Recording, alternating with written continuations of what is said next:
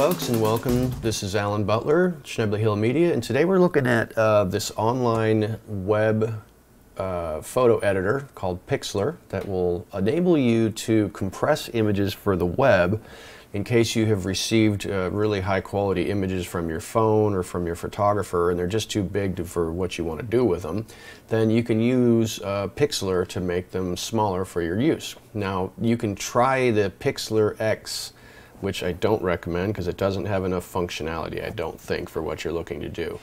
Um, if you go to open the Pixlr editor, this is a better option. And when you do that, it's going to potentially, you might find a little thing that says, hey, your ad blocker is on, and it may also say that you're, you need to install Flash to make it work. But once you've done that, you should see this, and you can create a new image from scratch.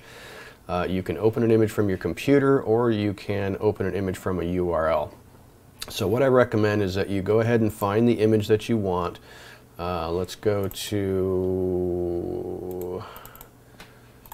uh, let's find an image here. Here we go. Let's, uh, let's just take this image here from a magazine cover that we shot a while back and this big this is a picture that is very large it's you know full resolution and we want to make this small because we want to uh, share it in email or something like that. So the best, let me just give you this little piece of advice first. If you, for example, go over to this little ad right here and you right click and you say inspect this element, you'll see that this is 200, 300 by 250. It's a little practically square image, which is frankly really small. And images on the web don't need to be big. And what's interesting is you should definitely do this. You find the space that you intend to put it in and inspect that element to see what is the size that you need and don't make it any bigger than it needs to be because that's, that will save your, your website and help it to run much more efficiently. And you don't want to put bloated pictures on your website or in your email marketing campaigns that are just too big for what you're looking for. Now, let's say that you are going to upload this image. This is an image of a product that's for sale on Shopify or Amazon or something like that. And you want it to be uh, as much resolution as possible without actually overcoming or going over the, the maximum allowable upload size. So for example, if we wanted to send, this was a product image and we wanted to send it up to Amazon, they recommend that you have um, a minimum of 1,000 pixels, uh, pixels on the long edge, but they recommend that it's 2,560 pixels on the long edge. So let's go ahead and do that let's go ahead and make this an image like we're going to use it on a product sale. So you go to image, image size, and the height is the longest edge on this photo. So what we're going to do is we're going to go 2560 and the, the width is going to be 1707 so you say okay now it just shrunk it down. Fear not it didn't just turn it into a postage stamp. You just got to zoom back into it. That's no problem. So we have now made it the, to the, the recommended long edge pixel dimensions for Amazon, for example. Now all you have to do is go to File, Save, and what it's going to do is it's going to say, okay, at a JPEG quality, which is good for most photos, and I totally agree, for web use, you definitely want to go ahead and use JPEG.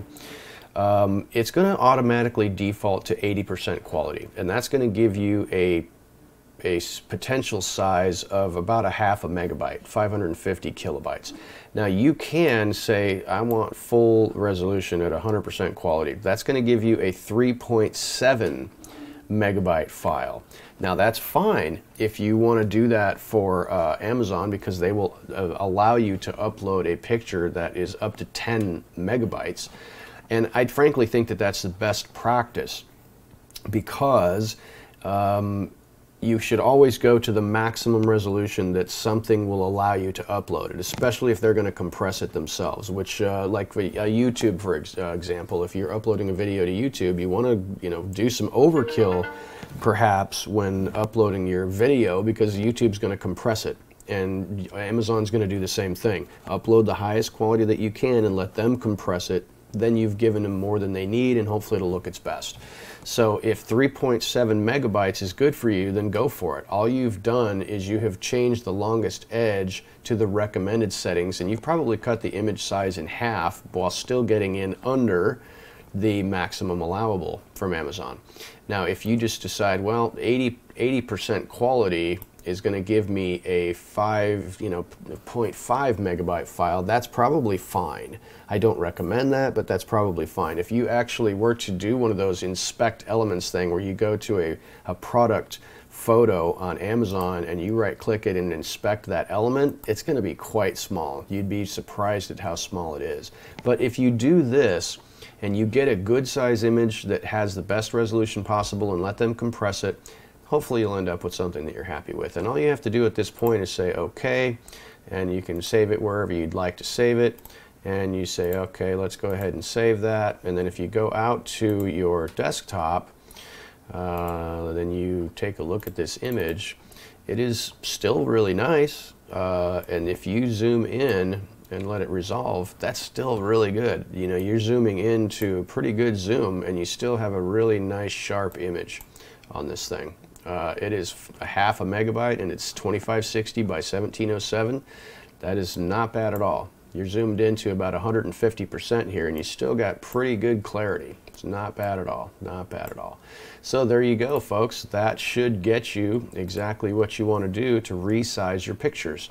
Just go to image, select the image size and tell it how many pixels you want on the long edge and once you have done that go to file save tell it how much quality you want it's going to estimate the file size and go ahead and save it. You can rename it put it where you want it and you should be good to go. Thanks a bunch. I hope this was uh, useful to you. Thank you and have a great day. Bye bye